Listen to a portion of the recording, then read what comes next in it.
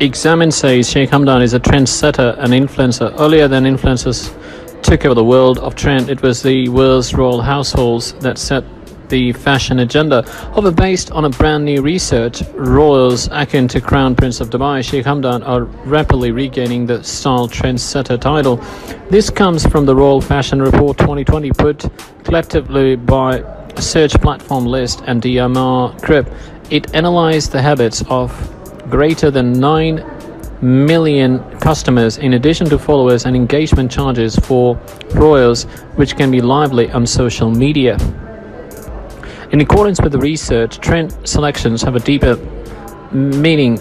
That means in relation to members of a royal household over celebrities and social media personalities it appears they have considerable extra web clout and that tends to what they select to put on uh, whereas engagement could also be lower than their influencer counterparts. Apparently, purchaser follow through, as in what individuals see them the place the general public really goes out and buys, can also be a lot greater. Sheikh Hamdan of Fazza, as he goes by on social media, by the way, in which has one of the vital followed Instagram accounts within the Center East, and that is the most followed royal on the social media platform with 10 million followers the Lyst research says a part of it this has to do with how these younger royals are dressing.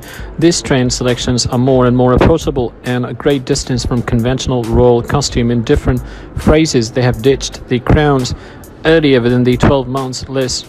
Searches for baseball caps elevated 24% after Prince Harry was noticeably sporting a no logo cap in Los Angeles. The same pattern was seen after he wore a cashmere crew neck. In different information, Sheikh Hamdan was married last year to Sheikh bin Said bin Thani Maktoum. He was married in a joint ceremony that included two of his brothers. The spiritual ceremony was saved non-public and concerned the signing of a wedding contract.